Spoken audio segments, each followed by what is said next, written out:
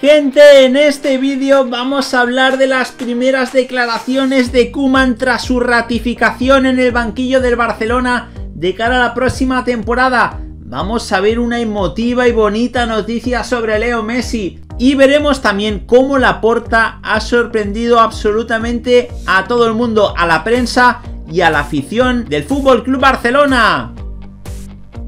Vamos a ello.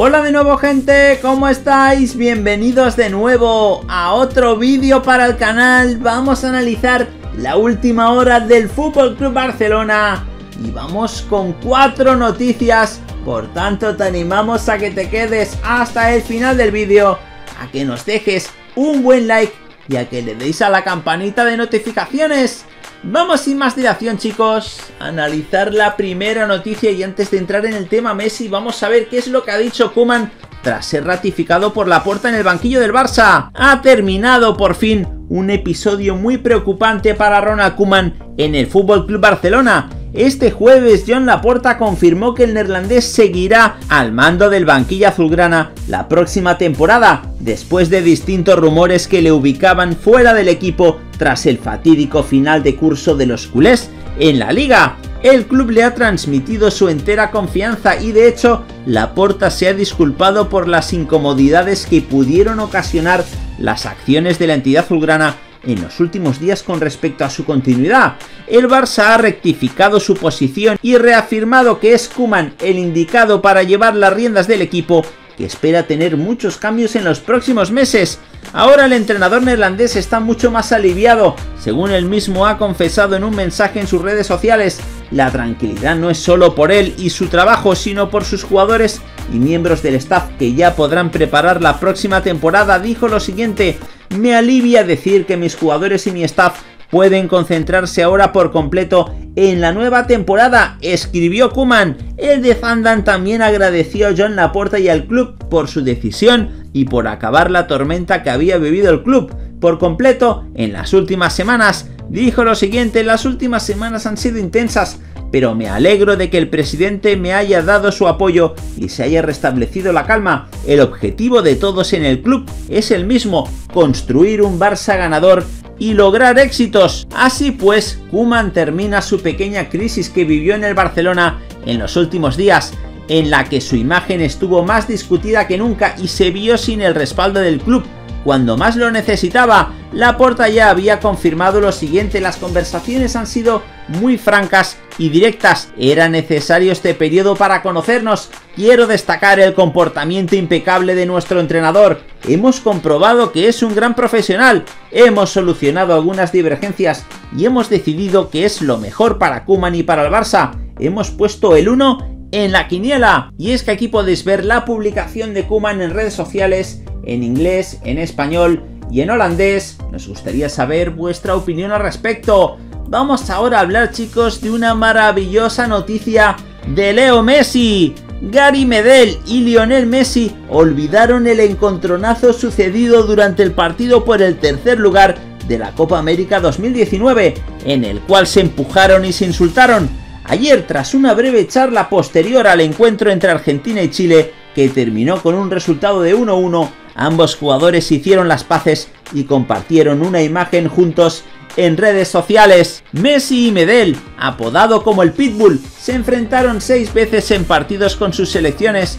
En los últimos años, Chile ha sido una barrera para el albiceleste, frustrando sus posibilidades de ganar las Copas América en las finales de 2015 y 2016, que se decidieron en la tanda de penaltis. Los duelos personales entre ambos siempre fueron ásperos, ya que el chileno no dudó en mostrar su dureza a la hora de marcar al crack argentino. El peor enfrentamiento tuvo lugar durante el partido por el tercer puesto de la Copa América 2019 en el cual Medel fue a por Messi con algunas acciones bruscas, lo que desencadenó una serie de insultos y empujones. El árbitro paraguayo, Mario Díaz de Vivar, tomó la decisión de mostrarles a ambos la tarjeta roja. Sin Messi, la selección argentina perdió contundencia, pero logró imponerse 2 a 1 y asegurar el tercer puesto en el campeonato. Ayer el clima en el estadio Unió de Santiago del Estero fue diferente. Durante el partido ambos jugadores mantuvieron un duelo leal y amistoso, dejando atrás el encontronazo que tuvieron en aquella Copa América. Al final del partido se buscaron en el túnel de vestuarios para saludarse e intercambiar las camisetas.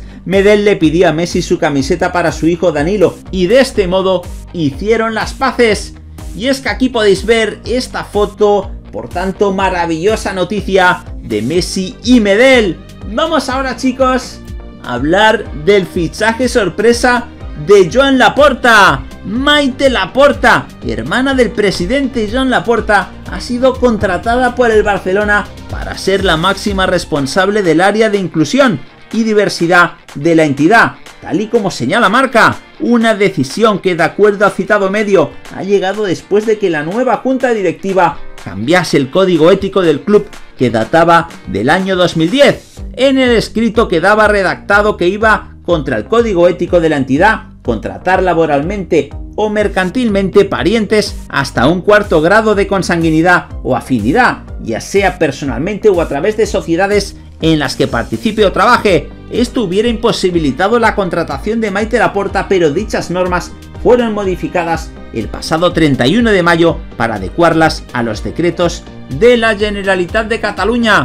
Ahora el escrito recoge que va contra dicho código contratar laboralmente o mercantilmente parientes, ascendientes o descendientes, ya sea personalmente o a través de sociedades en que participen o trabajen, salvo que la solvencia profesional de la persona a contratar, así como sus méritos y condiciones, estén contrastadas y justifiquen la convivencia objetiva de contratar a aquella persona en lugar de otra.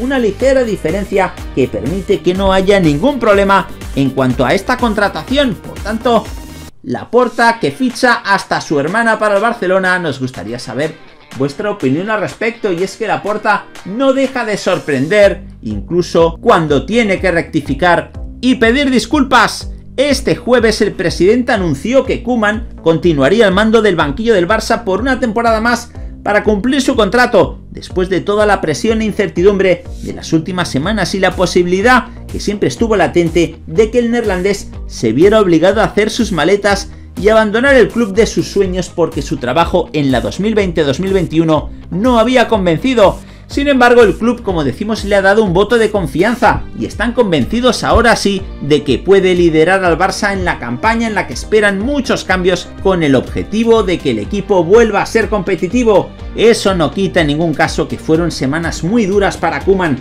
y que quedó en discusión la postura del club para tratar a una de sus grandes leyendas que fue el culpable de la primera Copa de Europa de los Blaurana en 1992 fue una situación que recordó a cómo se han manejado las cosas en los últimos años en Can Barça, con José María Bartomeu como máximo mandatario. Sin embargo, ahora hay una gran diferencia. La directiva del club, encabezada por Laporta, ha sabido rectificar, disculparse en privado y frente a las cámaras para limpiar asperezas y buscar en cualquier caso el bien para el equipo, que es al final del día el gran objetivo de Kuman, Laporta, la directiva y todo el club.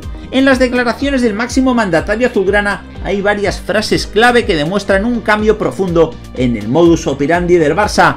Laporta reconoció que no había calibrado bien la dimensión mediática que pudo ocasionar las acciones del club en las últimas semanas, así como que en algún momento dijo nos hemos sentido desbordados y ha generado alguna incomodidad, por lo que le había dicho a Kuman que lo sentía y le ratificó su confianza plena en su trabajo el Barça ha sabido rectificar y con una actitud de completa humildad, reconocer que se pudieron hacer mejor las cosas para no crear una incomodidad para el héroe de Wembley, una figura histórica para el club que todavía puede generar cambios positivos en el primer equipo y que siempre ha estado dispuesto a dar lo mejor para seguir en el club. En tiempos anteriores, una situación así no hubiese ocurrido y la gran prueba de ello ha sido cómo salieron Ernesto Valverde y Quique Setién, aunque con situaciones muy diferentes. En cualquier caso, esta actitud de la Porta y la directiva con Kuman habla de un cambio en el Barça que beneficia muchísimo al club y que en definitiva busca que no hayan incomodidades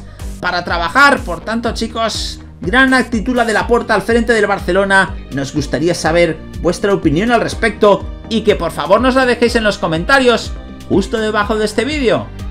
Nada más por el momento, como siempre animaros a que os suscribáis al canal para seguir viendo todos nuestros vídeos y aquí os dejamos este vídeo más que interesante para que sigáis disfrutando de todas las noticias del fútbol.